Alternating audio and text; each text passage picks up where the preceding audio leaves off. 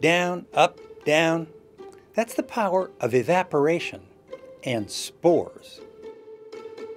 These spores are dormant, dried out bacteria.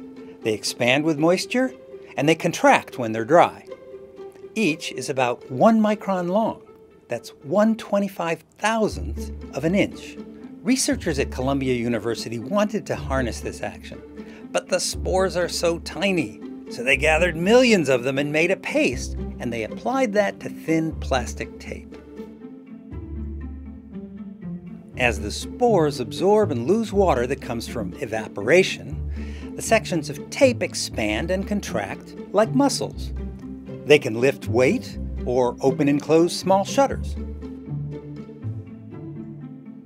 They can even power a wheel.